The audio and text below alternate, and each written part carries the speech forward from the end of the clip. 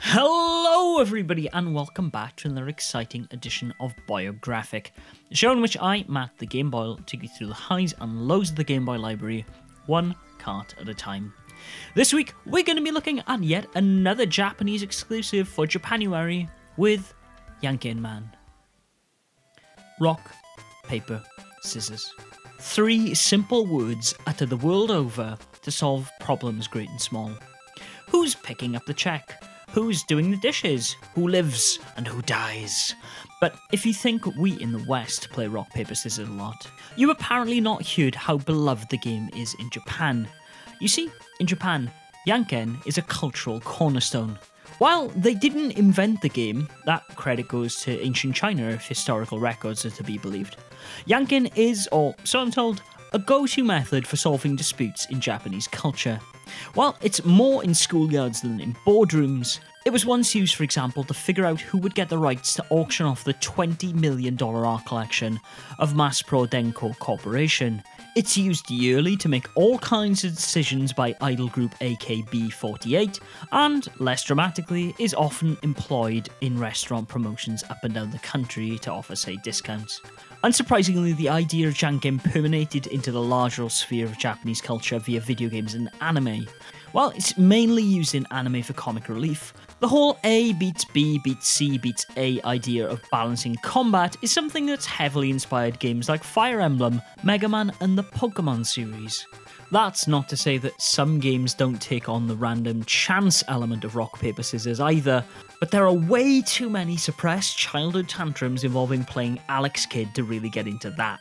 With Janken's popularity, I guess you could say that it was an inevitability that someone would eventually make an anime based solely on the concept. In 1991, that's exactly what Ashi Productions and Big West did. They made Janken Man, a series based around the titular superhero who naturally fights evil using the powers of rock, paper, scissors.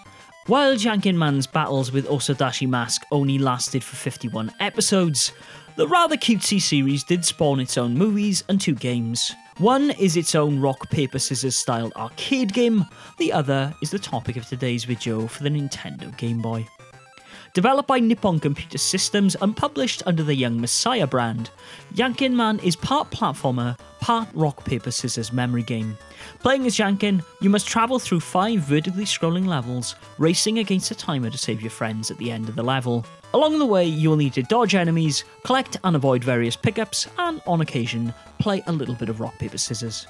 In what I can only assume was down to NCS trying to stay true to the very preschool aesthetics of the show, there's no real combat in Janken Man beyond the ability to jump on an enemy's head with the A or the B button. When I first put the cartridge in, I thought it would be standard fare for A to be jump and B to be fire. The ability to use either one of the letter buttons to jump made me scratch my head a little at the game's simplicity. Then I jumped on an enemy's head and they didn't die, just momentarily froze in place and allows me to jump off of them. Similarly, the player can't really be killed either, only stunned while Janken throws a little tantrum on the floor. Honestly, at first, it kind of felt a little odd that the game would take such a pacifistic stance. Then I realised that such a twee game not encouraging violence probably says more about me and the state of video games than it does about Janken Man. Instead of viewing NPC sprites as enemies, it's honestly better to view them as obstacles. As I've already mentioned, them hitting you isn't death, it's just a delay. Janken Man will simply throw a small temper tantrum on the floor, but it will eat away valuable seconds of the clock needed to reach Osadashi and beat him in rock, paper, scissors. Fortunately, this timer can be replenished in one of two ways either via a fist pickup hidden around the level, or by beating several best out of three rock, paper, scissors style minigames hidden behind doors on each stage. Now, I know what you're thinking. Is this Alex Kidd again, Matt? Well, no, not quite. Because you see, in Janken Man, there's not really any randomness in play. Winning a game of rock, paper, scissors mainly revolves around you memorizing an opponent's moves. Behind the door, the character will have a move sequence that, if you just memorize the first five hand signals, you'll get yourself an easy win.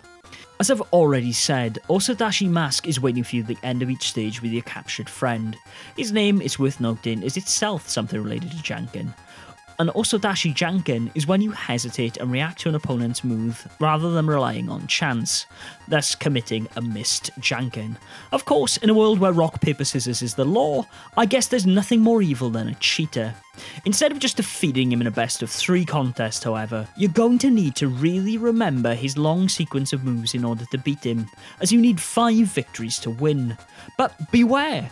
If you lose a match, one of your victory points will be lost and you'll need to win another match in order to reclaim it. When I thought this system was random, I thought, oh god, that's impossible! But after realising that it's a straight up memory puzzle, well, I ended up beating him in all stages pretty quickly. However, once you realise there's very little chance to the game, it really takes away from the replay value. Sure, there's points to play for, but alas, with the game only being about 20 minutes long, there's not a lot of bang for your buck here as it's pretty damn easy to beat.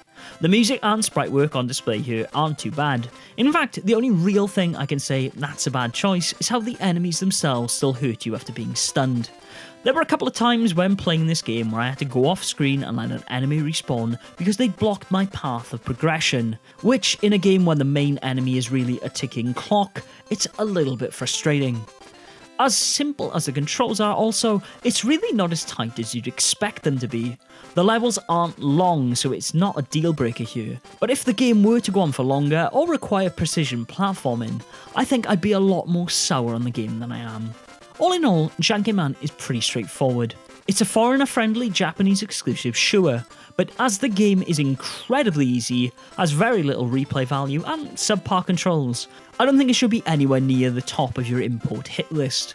If you're looking for something with a little bit of charm that you can beat in one sitting, or you happen to see it super cheap, then why not give it a go? It might not rock your world, but on paper at least, if you're not too picky with what you play, it could make the cut when it comes to finding a place in your Game Boy library. And on that terrible sequence of puns, Game Boys and Girls, it's time to draw this episode to a close. I hope you've enjoyed and are looking forward to more of Japanuary. If you are, please let me know what to play next down in the comments below. And until next week, Game Boys and Girls, be sure to game on.